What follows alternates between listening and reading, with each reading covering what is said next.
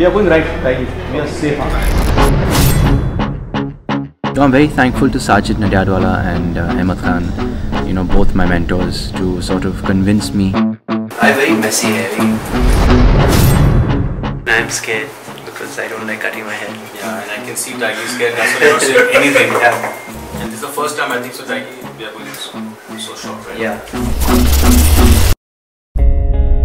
I was really nervous and I was really against the idea, but I'm nobody argue against those two. They are my boss.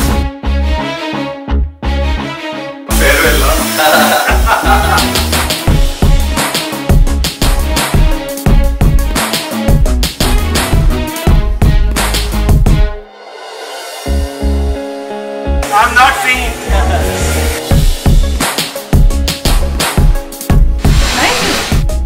I was really going through hell around that time. But they were very nice, you know, they cut it slowly, slowly, and sort of took it step by step, so it wasn't too much of a drastic uh, change for me.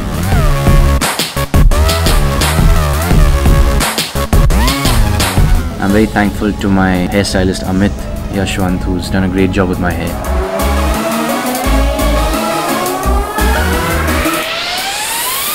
Get ready to fight!